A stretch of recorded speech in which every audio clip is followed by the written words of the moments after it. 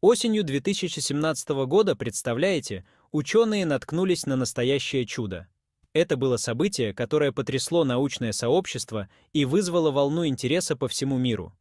На Гавайях, в обсерватории Pan-STARRS-1, зафиксировали странный объект. Этот объект не был похож ни на что, что астрономы видели раньше. Летел он как метеор, да еще и по такой необычной траектории. Его движение было настолько странным, что сразу стало ясно — это необычный метеорит. Астрономы глазам своим не поверили, никогда раньше ничего подобного не видели.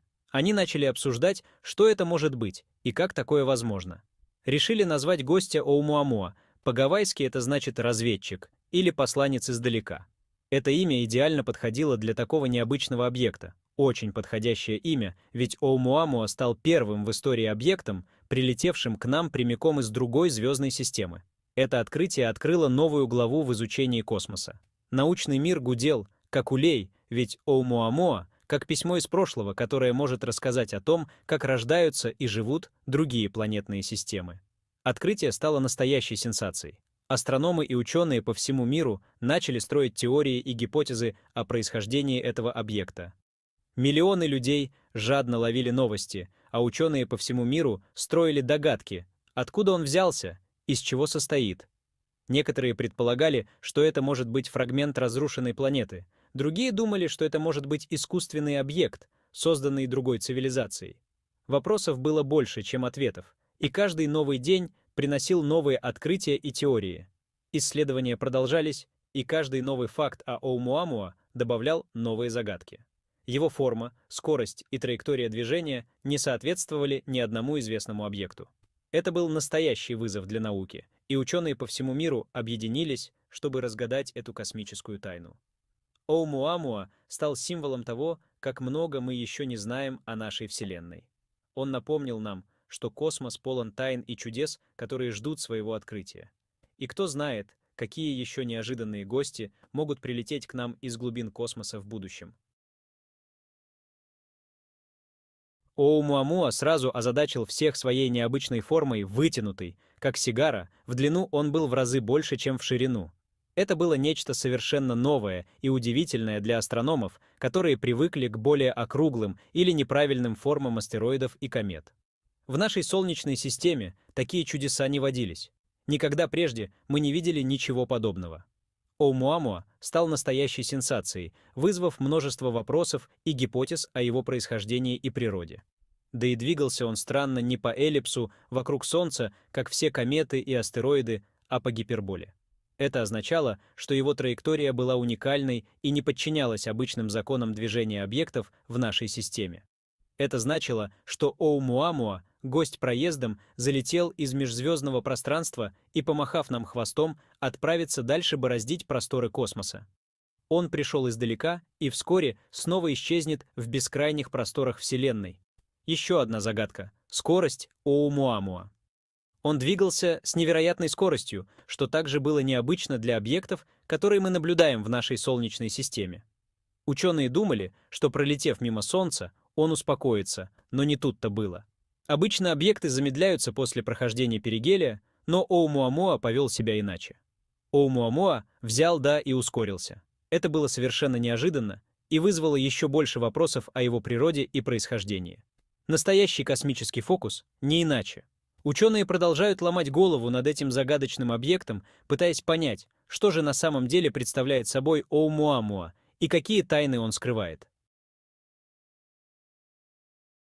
Что же такое этот Оумуамуа? Споры шли нешуточные. Этот загадочный объект, впервые замеченный в 2017 году, вызвал бурю обсуждений в научном сообществе. Его необычные характеристики заставили ученых ломать голову. Одни ученые стояли горой за комету, Мол, состоит он изо льда и пыли. Они утверждали, что Оумуамуа — это просто межзвездная комета, которая потеряла свой хвост из-за необычных условий в космосе. Другие же уверяли, что это астероид, кусок камня или металла. Они ссылались на его плотность и форму, которые больше соответствуют астероиду, чем комете. Вот только ни одна из версий не объясняла всех странностей Оумуамуа. Его ускорение и траектория движения не соответствовали ни одному из известных типов космических объектов. Кометы, пролетая мимо Солнца, всегда оставляют хвост, как у павлина. а у Оумуамуа и в помине его не было. Это отсутствие хвоста ставило под сомнение теорию о комете. Да и форма с траекторией совсем не по астероидному. Оумуамуа имел вытянутую форму, напоминающую сигару, и его движение было слишком необычным для астероида. Появились даже смельчаки, которые заявили, а вдруг это инопланетный корабль?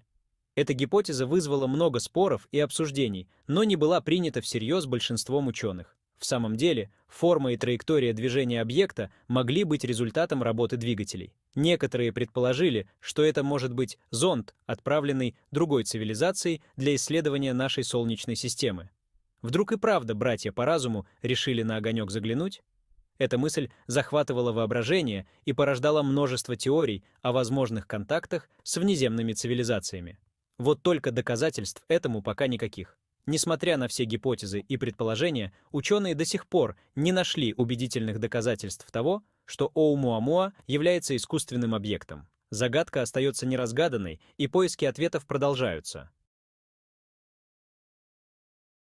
Из всех версий самыми правдоподобными казались две. Первая — Оумуамуа — это осколок планеты, которую разорвало на части гравитации звезды. Вторая версия облако космической пыли, которое держится вместе благодаря электростатике.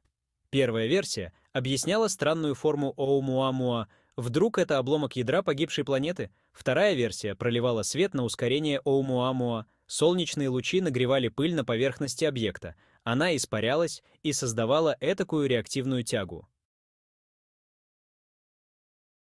Пока Оумуамуа гостил в нашей Солнечной системе, ученые не теряли времени даром и собрали о нем много ценных сведений. Например, узнали, что поверхность Оумуамуа красноватого цвета, как марсианский песок. Это характерно для некоторых органических молекул. Но чем больше данных получали ученые, тем больше появлялось загадок.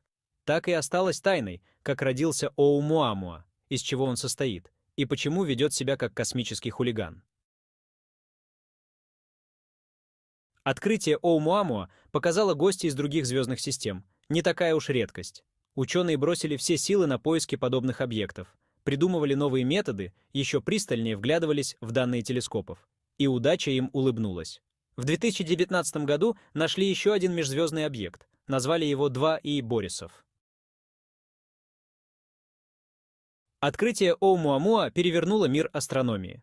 Впервые в истории ученые смогли потрогать руками, ну почти, объект из другой звездной системы. Изучая Оумуамуа, мы словно подглядываем в замочную скважину, пытаясь понять, как рождаются и живут другие планетные системы. А вдруг разгадка тайны Оумуамуа поможет найти ответ на главный вопрос.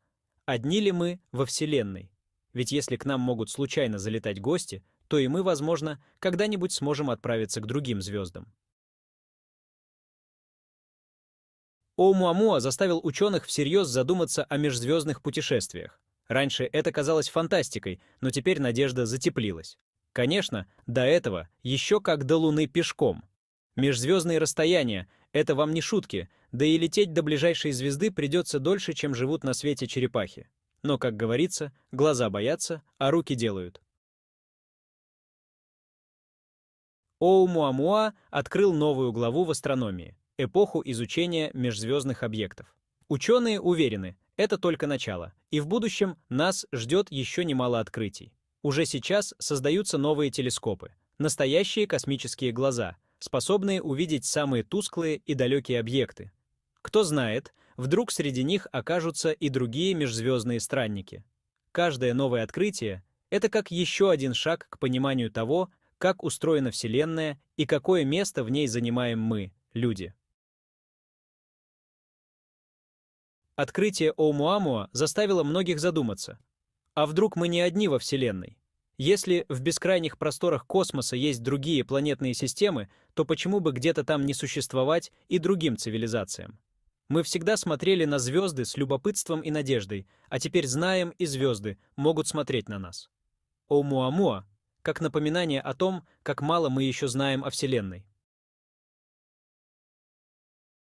Оумуамуа стал первым гонцом из далекого космоса.